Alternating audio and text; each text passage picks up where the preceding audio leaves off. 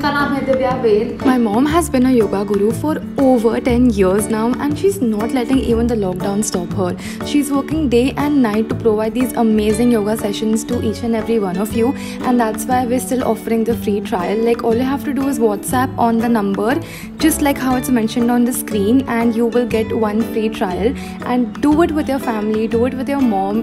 Make this super special because all they want is a little bit of time. So make sure you message her because this will make her day and mean a lot to me too. हम एक नया series start कर रहे हैं जहाँ पे हम एक साथ सीखेंगे eye shadow and eyebrows basically makeup and beauty related सारा सामान जैसे मेकअप किया है लेकिन कुछ नहीं किया है ऐसा लगता है नेचुरल लगता है। सो so, मुझे ऐसा लगता है कि उसका काफ़ी हाथ बैठा हुआ है मेकअप के ऊपर और मुझे भी बहुत बहुत पसंद है बट मुझे बिल्कुल भी लाइक इतना नॉलेज नहीं है। दैट्स वाई हम लोग ये सीरीज़ बना रहे हैं। आज मैं आपको सिखाऊँगी कि एक अच्छा सा बेस स्मूथ सा बेस कैसे बनाना है। ना first step for a smooth base wash your face अगर आपके चेहरे पे पहले से गंद है तो उसके ऊपर मेकअप अच्छे से नहीं जाएगा और पिंपल्स वगैरह तो होने ही है फिर। फ्रेश लग रहा है ना? हम्म, मेरी मॉम ना फेस वॉश कभी नहीं करती। कभी नहीं करती। शी नहीं नहीं मैं मेरा साबुन यूज़ करूँगी। So I really want her to start with skin care वाह मम्मी का मस्त स्प्रेड होगा अब हम धो के आते हैं बस। कैसा लग रहा है फेस वॉश करके? फेस वॉश काफ़ी अच्छा था बट मैं बिल्कुल यूज़ टू नहीं हूँ। सो so, कुछ मुझे यूज़ टू होने के लिए बहुत टाइम मे बी ऐसा लगेगा बट अच्छा है। गिविंग ऑनेस्ट रिव्यू ऑनेस्ट ही देना है। क्लेंस करने के बाद ना फेस को मॉइस्चराइज करना बहुत ज़रूरी होता है ताकि जो हमने पोर्स खोले हैं पोर्स मतलब छोटे छोटे होल्स होते हैं फेस में उसमें डर्ट जमा हो जाती है। सेकंड स्टेप होता है टोन तो टोनर आपके पोर्स को बंद करता है। तो ये हम एक टोनर यूज़ करेंगे। अगर मेरी स्किन ऑयली है हाँ। सो so, अगर जैसे समर आएगा तो बहुत ही ऑयली हो जाएगी हाँ। तो भी मॉइस्चर यूज़ करना ज़रूरी है कंपलसरी है क्योंकि Okay. काफ़ी लोगों को ऐसा लगता है कि मेरी स्किन पहले से ऑयली है हम्म। तो मैं ऐसा सब लगाऊँगी तो और ऑयली हो Yes. जाएगी बट ऐसा नहीं होता है। सबकी स्किन को मॉइस्चराइज करना ज़रूरी होता है। ऑयली वालों की स्किन ऑयली भी क्यों होती है बार बार क्योंकि पोर्स को अगर खुला छोड़ दिया तो उसमें और डर्ट जमा होता है। Okay. तो बॉडी को ऑयल प्रोड्यूस करके वो सब निकालना पड़ता है। सो टोनिंग एंड मॉइस्चराइजिंग सारे स्किन के लिए कंपलसरी होता है। हाँ अगर ऑयली स्किन है तो आपके लिए प्रोडक्ट्स अलग आते हैं। बट प्रोडक्ट यूज़ तो करना चाहिए। पूरे चेहरे पे। पूरे चेहरे पे। चिन मत भूलना नोज़ साइड्स हो गया सारा? हम्म। अभी ऐसे। थप्पड़ मारना है खुद को। रब नहीं करना है नहीं रब नहीं करना है। टोनर को रब नहीं करना है। बहुत ज़ोर से थप्पड़ मत मारना है कभी ये नहीं जा रहा है। जाएगा जाएगा। फिर अभी इसको धीरे धीरे प्रेस करो। ऐसे ऐसे। बहुत चिपचिप हुआ है। सीरियसली अभी हम फेस पे यूज़ करेंगे मॉइस्चराइजर कोई भी मॉइस्चराइजर चलता है। मम्मी को तो निविया वाला इतना पसंद है कि वो अपने बेड साइड टेबल पे लेके रखते हैं। बट आज I will make her try this chia seed hydro creme जो मेरा करंट फेवरेट मॉइस्चराइजर है। ये अच्छा लगा। आँख के ऊपर भी? नहीं आँख के लिए एक अलग क्रीम है। वैसे अगर आप यहाँ पे स्टॉप कर लो तो चलता है। आँख पे, आँख के नीचे भी कोई भी मॉइस्चराइजर लगा लो तो चलता ही है। But I have a special eye cream तो आई क्रीम लगाने से आपका कंसीलर भी और स्मूथली बैठता है। Is not used to skin care now you will finally start makeup तो अगर आपको फाउंडेशन या आपके बेस को ज़्यादा टाइम तक टिकाना है तो पहला स्टेप होता है प्राइमर प्राइमर क्या करता है कि अगर जो हम पोर्स की बात कर रहे थे, जो छोटे छोटे होल्स होते हैं अपने फेस पे, उसको भर देता है। क्योंकि उसमें प्राइमर होता है तो फाउंडेशन फिर उसके अंदर नहीं जाता और फाउंडेशन को पकड़ के रखता है, क्योंकि थोड़ा स्टिकी जैसा होता है। प्राइमर को आप ग्लू समझ के चलो कि आप पहले ग्लू लगा दो, फिर उसके ऊपर फाउंडेशन लगाओगे तो वो बहुत ज़्यादा टाइम तक टिकता है। तो मेरे पास दो वेराइटी है, एक बाम टाइप है और एक क्रीम टाइप है। तो आज हम बाम वाला यूज़ करेंगे। दो फिंगर्स लेंगे और इसको हीट अप करेंगे गर्म करेंगे। आपके चीक्स पे और थोड़ा सा इधर फोरहेड पे और नोज़ पे बस। पूरे चेहरे पे पूरे चेहरे पे नहीं लगा तो फाउंडेशन और कंसीलर दोनों क्रीम प्रोडक्ट होते हैं तो काफ़ी लोगों को पहले कंसीलर पसंद है काफ़ी लोगों को फाउंडेशन पहले पसंद है तो वो टोटली आप पे डिपेंड करता है। फाउंडेशन में भी हमारे पास दो अलग टाइप के फाउंडेशन है एक है स्टिक फाउंडेशन और एक है liquid foundation what is your method my method is like that page page tapping हाँ। एंड देन उसको स्प्रेड करती हूँ। स्प्रेड कैसे करते हो? विथ दिस ब्रश जो दूसरी साइड दिया है जी। Okay that's nice one of the mistakes that I made जब मैं बिगिनर थी वॉज़ कि मैं ज़्यादा फाउंडेशन लेती थी। मुझे लगता था कि जितना ज़्यादा फाउंडेशन लूँगी उतना ही इवन लेयर आएगा उतना ही एक, एक से लिखा आएगा कवरेज ज़्यादा मिलेगा। बट उस चक्कर में फाउंडेशन केकी लगता था जाड़ा लगता था तो it does not look nice तो बिगिनर का टिप ये होगा कि आप बहुत ही थोड़ा थोड़ा फाउंडेशन करके लो। आप खाने मुझे कैसे बोलती हो कि पहले एक चपाती लो खत्म होने के बाद दूसरा खाना ताकि वेस्ट ना हो सेम पहले थोड़ा सा लो। अगर कहीं पे स्पॉट बचा है वापस लगा देना। तो आपको बहुत ही एकदम स्मूथ लेकिन ये कैसे पता चलेगा कि कहीं पे स्पॉट रह गया है? तो सपोज़ हमने यहाँ पे एक डॉट लगाया हम्म। है और इसको अभी हमने स्प्रेड किया हम्म। तो इसके आसपास ना आपको फ़र्क दिख जाएगा कि. ओ यहाँ पे तो एक एक से दिखा दिख रहा है यहाँ पे क्यों ऐसा पैच पैच लग रहा है? वो आपको समझ जाएगा मिरर में देख के। नॉर्मली मेरे पास इतना पेशेंस नहीं है। ये जो अभी जो स्टेप आया सबसे पहले मैं वही स्टेप से डायरेक्टली स्टार्ट करती थी that foundation and that applying and fast so पता चला कि कितने सारे स्टेप्स है सो so, मेरे में बिल्कुल पेशेंस ही नहीं है ये सारी चीज़ें करने के लिए। बट मुझे बहुत अच्छा लगता है जब मैं वो फ़र्क देखती हूँ मेरा और हेली के मेकअप में। सो so, जैसा मैं कोशिश करूँगी वो पेशेंस लाऊं मेकअप के लिए।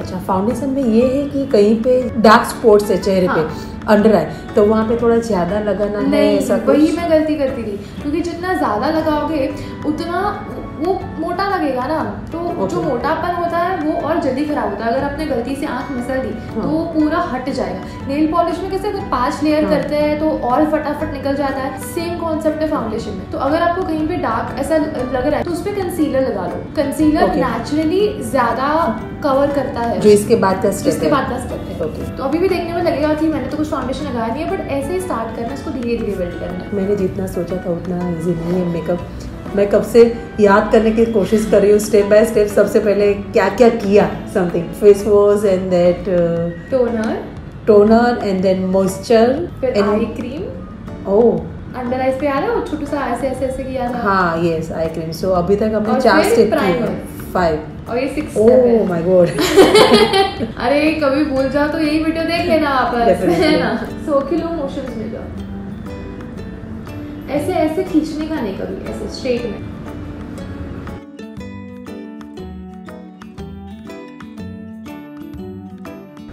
आँख के ऊपर?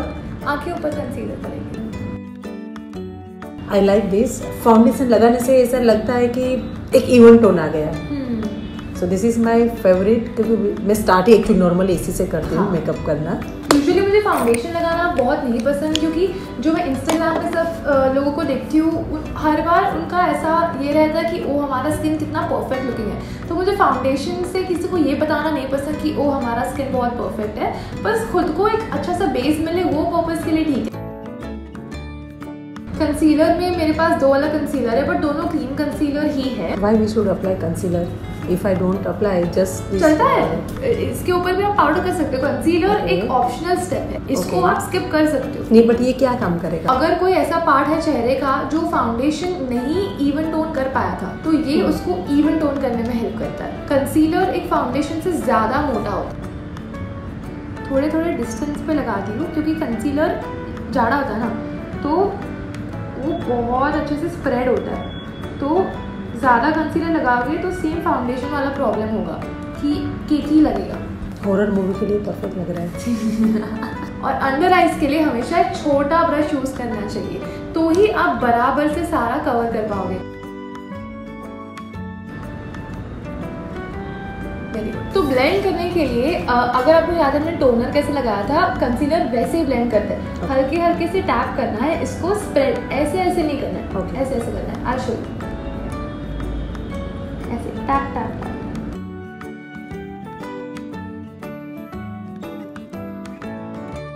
और फिर थोड़ा सा बच जाता है ना उसको आँखों के ऊपर लगा देते हैं।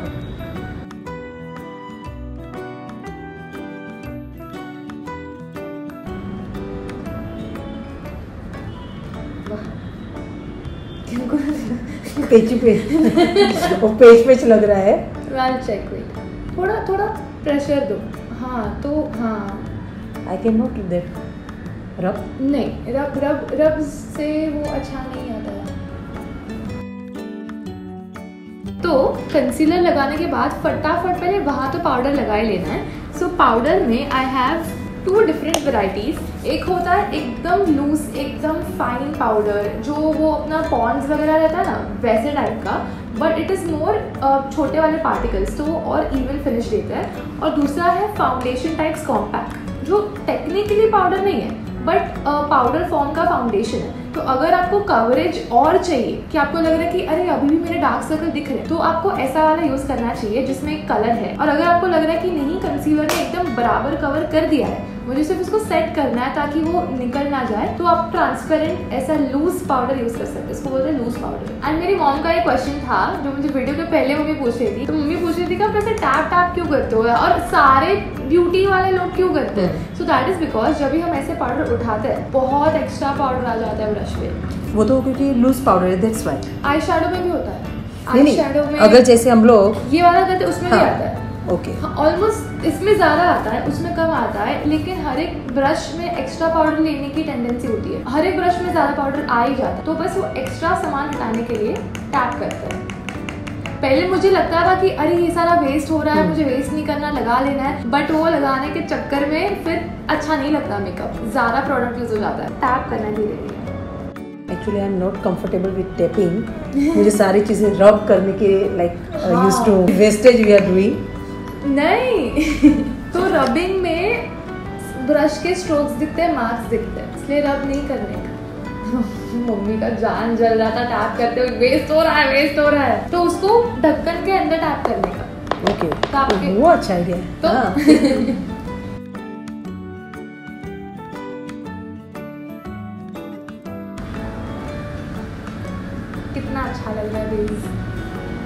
और जब फेस पे पाउडर लगाने की बात आती है तो I don't like applying a load of powder तो अगेन इसको डिप करेंगे, डब्बे में टैप करेंगे एंड बहुत हल्के हाथ से बस।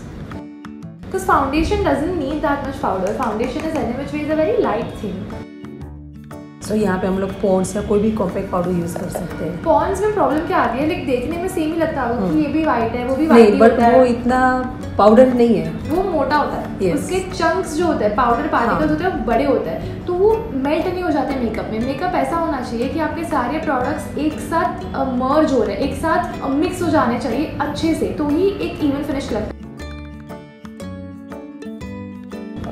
ये करने से एक चीज़ अच्छी लगी। पहले एकदम फेस चिपचिपा लग रहा था। सो ये करने से कम्प्लीटली कंफर्टेबल बोलने में भी वो इलास्टिकसिटी जो खींच न रहा था वो नहीं लग रहा है। So this is the best part actually powder का नाम ही है ऑयल कंट्रोल पाउडर तो ये आपके फेस पे जो भी ऑयल है तो एब्जॉर्ब कर देता है। तो अगर तीन चार घंटे बाद अगर आप बाहर निकले और आपको हम्म। पसीना आ रहा है हम्म। तो आप ऐसे ही पाउडर आसानी से आपके पर्स में कैरी कर सकते हो। और हर चार चार घंटे पे थोड़ा लगा लोगे तो आपका मेकअप टिकेगा भी और आपको अनकंफर्टेबल भी नहीं लगेगा। But this was our entire base Okay. This is how to get a very even looking nice looking foundation बहुत सारी चीज़ें सीखने के लिए मुझे नहीं मिली बट इतने टाइम में मेरा तीन बार फुल फेशियल हो जाएगा। सो मुझे बहुत बहुत पेशेंस रखना पड़ेगा इसके लिए। वैसे भी बोलते हैं कि हम लोग तैयार होने के लिए ज़्यादा टाइम लेते हैं। वो ऐसे तो जलते हैं लोग जो अपने बारे में ऐसा बोलते हैं। अगर हम टाइम पे निकल रहे हैं तो it is no one business कि हम कितना टाइम लगा रहे हैं। नहीं बट स्टेप बाय स्टेप करेंगे तो यस डेफिनेटली फिनिशिंग में बहुत बहुत फ़र्क आता है आज मुझे पता चला पहली बार इतनी डिटेल में मैंने कुछ चीज़ें सीखी so thank you so much for that and. बहुत बहुत अच्छा लगा सो विल वेट आगे इसको अभी और सीरीज़ में कंप्लीट करना है If you found this helpful, zara sa bhi, then that makes us very very happy. And we'll see you in the next video. Until then, goodbye.